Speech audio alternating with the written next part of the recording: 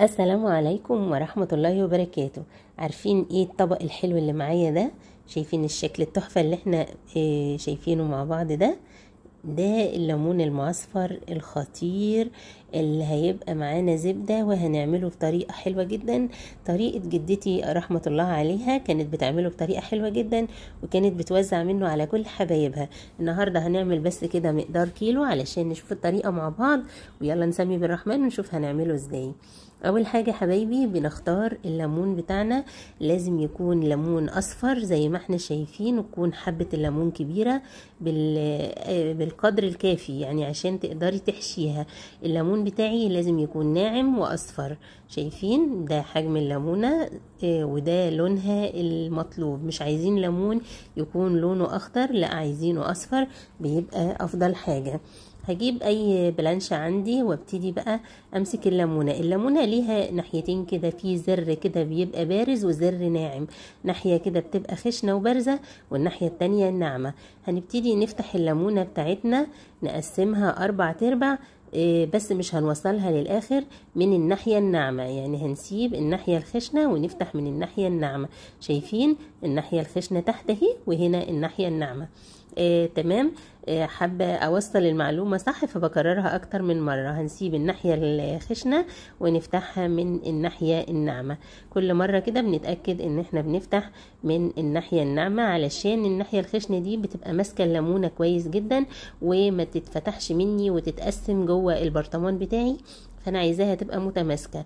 وأنا بقطعها أربع تربع كده ما بنزلش قوي للآخر علشان إيه لما آجي أخرج الليمون بقى بعد ما يتخلل ما يخرجش مني ربع لا نص لا يبقى الليمونه على بعضها كده إيه تخرج معايا بحشوتها وتبقى متماسكة وشكلها حلو جدا زي ما أنا إيه خللتها. ما شاء الله تبارك الرحمن. الليمون البلدي ده حاجة عظيمة جدا فيه شفاء وطعمه حلو وريحته جميلة. الليمون البنزهير الحلو ده. بس في الليمون المعصفر الأساس إن إحنا نجيبه ليمون حبة كبيرة وناعم ويكون كمان الليمونة لونها أصفر زي ما إحنا شايفين. هخلص بقى تقطيع الليمون بتاعي كله كده بنفس الطريقة من الناحية الناعمة. وما وصلش التقطيع للآخر علشان نخلل الليمون بتاعنا بطريقة جدتي الطريقة البسيطة جدا اللي بتبقى طعمها خرافي. وهنشوف مع بعض هنحتاج إيه لتخليل الليمون.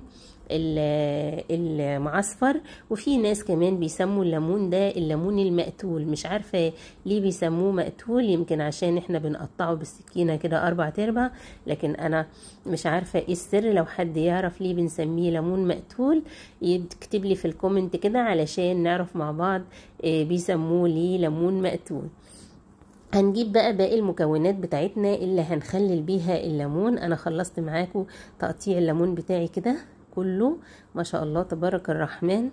حاجة كده ممكن لو هتعملي كمية تقعدي مثلا بنوتك تعمل معاكي وتقطع لك وتفهميها تقطع من الناحية الناعمة وفي نفس الوقت ما تجيبش الليمونة لحد الآخر علشان ما يتفصص من بعضه ويبقى متماسك وسليم في الآخر. خلصت تقطيع كده. وكملت الكمية كلها والليمونة عندي في الآخر بتبقى متماسكة ومش متفصصة من بعضها خالص. ما شاء الله تبارك الرحمن عملت الكيلو كله بالكامل. زي ما إحنا شايفين كده هبتدي أجهز بقى الخلطة بتاعتي اللي هعمل بيها الليمون وهحدق بيها الليمون بتاعتي وهي حاجات مكوناتها بسيطة جدا ومتوفرة في الغالب في كل بيت. هنجيب بولة صغيرة عندنا كده ونبتدي نجيب فيها أول حاجة 3 معالق من الملح. يكون ملح ناعم أو خشن على حسب. أنا هخلل بالملح الناعم علشان هو المتوفر في كل بيت. مش كل مش دايما كل الناس عندها الملح الخشن بيكون متوفر. هنزل عليها بمعلقة كبيرة من حبة البركة وما بنزودش حبة البركة قوي علشان ما تغمقش معايا لون الليمون. تالت مكون هنزل بالعصفر. نزلت بمعلقة كبيرة بس حاسة إن الكمية مش كفاية فنزلت كمان بنص معلقة من العصفر. يبقى عندي ثلاث معالق من الملح الناعم وعليهم معلقة من حبة البركة ومعلقة ونص من العصفر نزلت عليهم بمعلقتين ثلاثة كده من هريسة الشطة ومعلقتين ثلاثة من الجزر المبشور. وكده أبقى حضرت الخلطة اللي هعمل بيها الليمون المعصفر بتاعي. هنقله كده في حاجة أكبر وابتدي بقى أحشي الليمون بتاعي بالحشوة بتاعته الخطيرة. طبعا أنا الليمون هنا هعمله يقعد فترة طويلة يعني أنا مش عايزة آكل منه على طول لأني أنا عندي ليمون مسلوق ويعني مش محتاجة آكل من الليمون المعصفر فأنا عايزة أعمله لرمضان يقعد عندي فترة طويلة مش عايزة آكل منه على طول. فبالتالي أنا ما سلقتوش بعمله ني زي ما هو كده يا دوب فتحت الليمون وحشيته بالحشوة اللي أنا حضرتها معاكم. شايفين معايا؟ اللهم بارك. الليمونة بتتفتح معايا من فوق بس متماسكة من تحت وما بتتفصلش من بعضها. الأجزاء الأربعة متماسكة خالص زي ما إحنا شايفين. هخلص بقى الكمية كلها حشو ما شاء الله الريحة بتاعت الحشوة لوحدها دلوقتي تحفة جدا. الهريسة الشطة مع الجزر المبشور والملح والعصفر مع الليمون وكمان ريحة الليمون لوحده كفاية. تبارك الرحمن الخلطة حلوة جدا. أخلص حشوتي كلها وأخلص الليمون بالشكل ده ودايما وأنا بحشي الليمونة بقعدها وشها لفوق علشان خاطر الحشوة ما تقعش منها. ده أساسي جدا وأنا بحشي الليمون بتاعي. ما شاء الله تبارك الرحمن هخلص الكمية كلها بالشكل اللي إحنا شايفينه ده وأرجع معاكم نشوف هنكمل باقي الخطوات إزاي. شايفين معايا؟ اللهم بارك بعد ما خلصت الكمية ده الكيلو الليمون شكله تحفة وشكله كده يتاكل ني اللهم بارك وريحته في منتهى اللذاذة. هبتدي بقى أجيب البرطمانات بتاعتي علشان أكمل الليمون بتاعي ونشوف هنوصله إزاي لأنه يبقى ليمون معصفر تحفة وطعمه مميز جدا وريحته خطيرة زي شكله كده ويبقى في منتهى الطعامة. هجيب معايا بولة كده فيها مية غليتها وبردتها يفضل طبعا علشان نقتل أي بكتيريا فيها. هنزل فيها بالملح بتاعي. هحط معلقتين اتنين.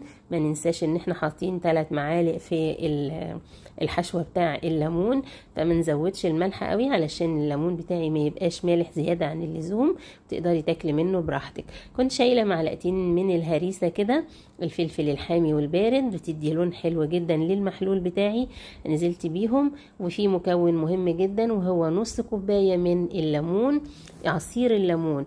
العصير ده معصور يدوي ما ينفعش يكون معصور في الخلاط علشان ما يعملش مرارة معانا. أنا عايزاه عصير فريش وناخد قلب الليمونة بس ما نعصرش القشر معانا. هنسمي بالرحمن بقى ونجيب البرطمان بتاعنا المعقم وإحنا بنرصه ناخد الليمونة نقعدها كده ونخلي الفتحة بتاعت الليمونة والحشوة لفوق علشان ما تقعش مننا في قلب البرطمان أثناء التخليل أنا عايزة الحشوة تفضل جوه الليمونة طول وقت التخليل علشان الليمونة تاخد من الحشوة الطعم اللذيذ وكمان آه تتنكه كده بالنكهات الحلوة اللي إحنا حاطينها العصفر وحبة البركة والجزر وكمان هريسة الشطة.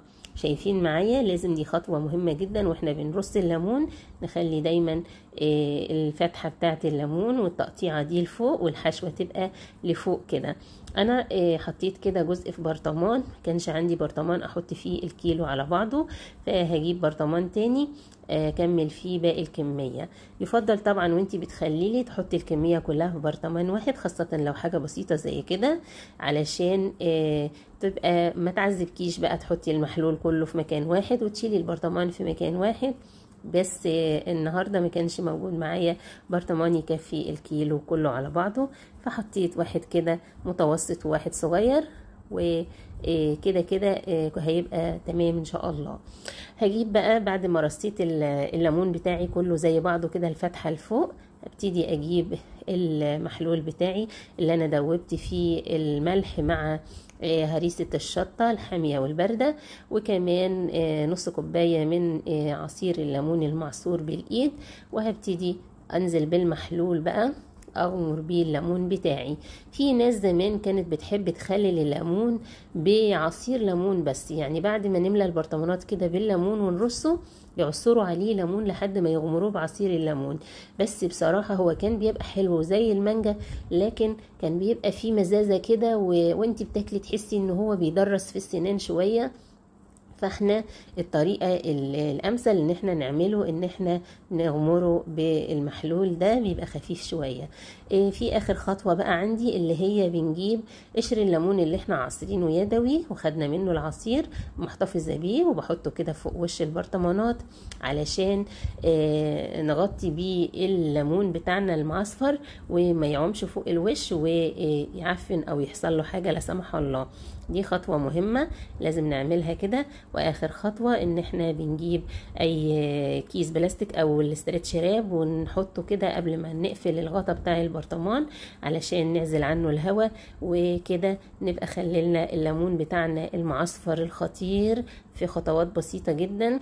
الليمون ده هيقعد معاكي لو عايزاه يقعد من السنة للسنة هيقعد معاكي. هيقعد معاكي أول حاجة هنفتح عليه إن شاء الله مع بعض في رمضان. هيكون مستوي جدا. وزبدة أنا عاملاه بدون سلق عشان يعيش معايا أطول فترة ممكنة. أنا خللت معاكم الليمون المعصفر الخطير اللي لونه تحفة وريحته حاجة كده اللهم بارك. من دلوقتي تفتح النفس. إن شاء الله النهارده تكونوا استفدتوا من الفيديو ولو عايزين تخللوا الليمون المعصفر طريقته سهلة جدا التزموا بس بالخطوات هيطلع معاكم تحفة إن شاء الله وإن شاء الله نتقابل دايما في فيديوهات كتير حلوة ومميزة. ولو عجبكم الفيديو ما تنسوش تعملوا لي like و share و comment حلو من قلبكم علشان الكل يستفيد. وأقابلكم دايما إن شاء الله في كل جديد. والسلام عليكم ورحمة الله وبركاته. دمتم حبايبي في حفظ الله وأمنه. مع السلامة.